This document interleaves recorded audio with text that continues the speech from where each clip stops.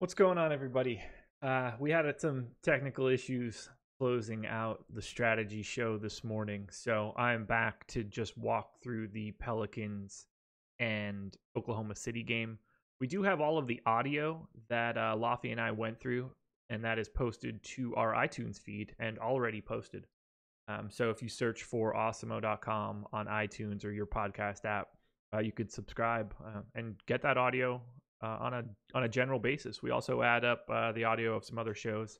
Uh, ben and Tim's PGA show is on there as well. You get the early bird podcast. So check out our iTunes feed if you haven't had it before.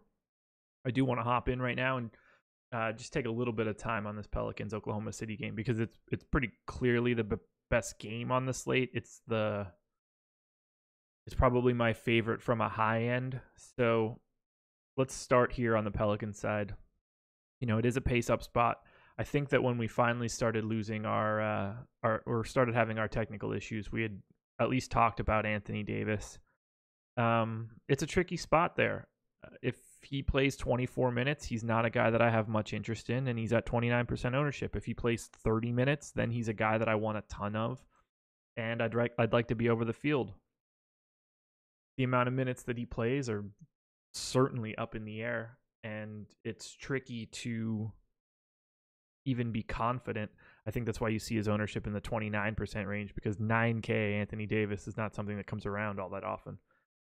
Um, when it gets down to it, I assume that I end up under the field. It just doesn't strike me as a situation where he's going to play monster minutes um, heading into the All Star break, but who knows? It's a game against the Thunder. Maybe he wants this one.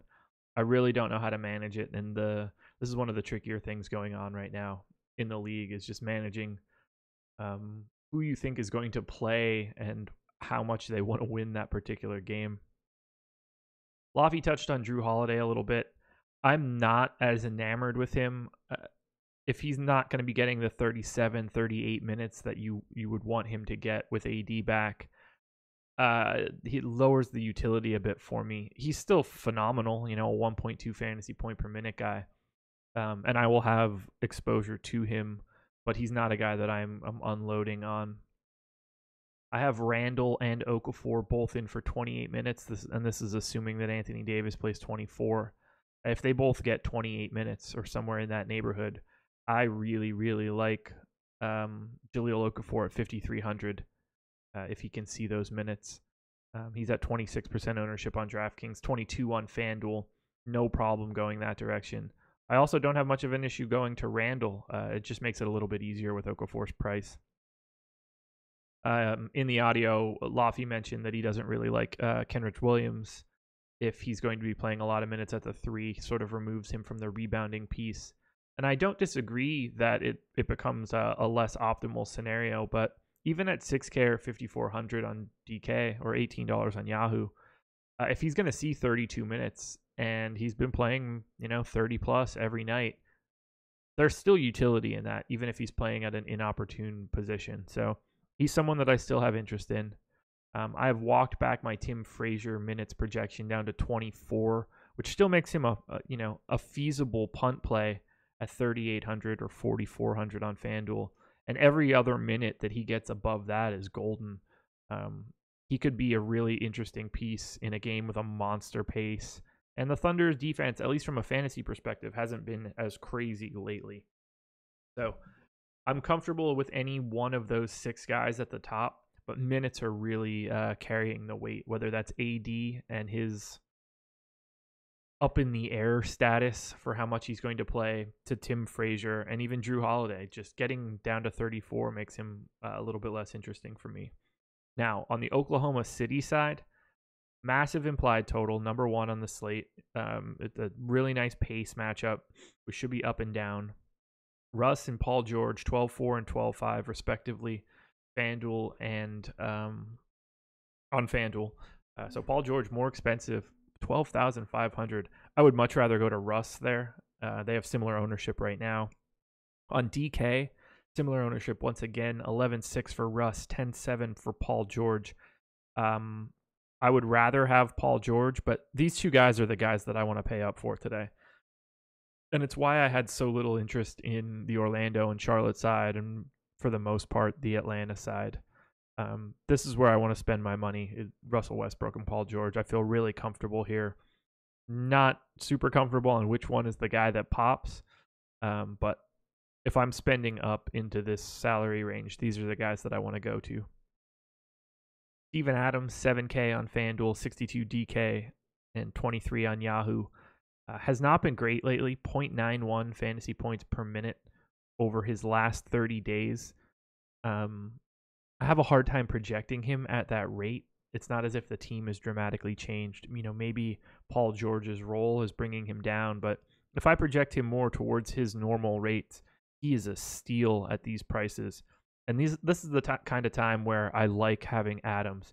Three game slate where, you know, 6200 he gets to 35 40 fantasy points in a good scenario and you're just happy with that raw total. So, Adams is a guy that I will likely be over the field on um, barring any sort of weird news that comes out as the day goes on. Uh, I would rather have Adams to Okafor. Sorry, I would rather have Adams to Randle. I would rather have Okafor to Adams. Uh, for the rest of this team, um, you know, feel free to use someone like Deonte Burton or Berg or Pat Pat as minimum salary punts on FanDuel. But on DraftKings, uh, I don't really have much interest in anything outside of the top three. We'll have no Dennis Schroeder. We have no Jerami Grant, but it's not really opening up anything. This entire team's uh, production runs directly through Russell Westbrook, Paul George, and to a lesser extent, Steven Adams. So, I mean, like Nerlens Noel is the only other guy that I think is like a functional fantasy player, but his minutes are directly tied to the amount of time that Adams is on the court. So it's really difficult to go that way. Ultimately, Russ and PG win the day, and I want to get as much as I possibly can of both of these guys. Um, there's just not enough on the high end. Like if I'm going to spend 10 7 10,700 on DraftKings, uh, I would much rather get to Paul George than get to 10k Vooch. Um, I just see a lot more upside for me, especially in a matchup against the Pelicans. So that's my quick walkthrough of the Pelicans and of Oklahoma City. Uh, apologies, apologies again uh, for the technical issues this morning. Not entirely sure what it was, but we just started dropping over and over again. Wanted to make sure we got at least a little bit more video up on the site in our last day before the All Star break.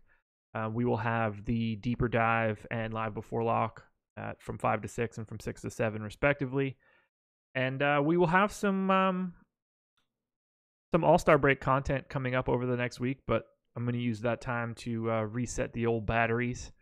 So NBA Strategies is the promo code if you want to sign up for us, 50% off your first month. Uh, that would start immediately, just FYI. So if you are looking to get started with us and you want to use that promo code, um, just know uh, we will have a little bit of content for the All Star break, but it's going to be light on NBA stuff. No games until uh, the following Thursday. So thank you for joining us. Uh, best of luck tonight. Again, apologies for the technical issues, but we wanted to at least finish off this final game. Um, I will be back on live before lock tonight with Fast Eddie Fear, so come check us out. Thanks, guys.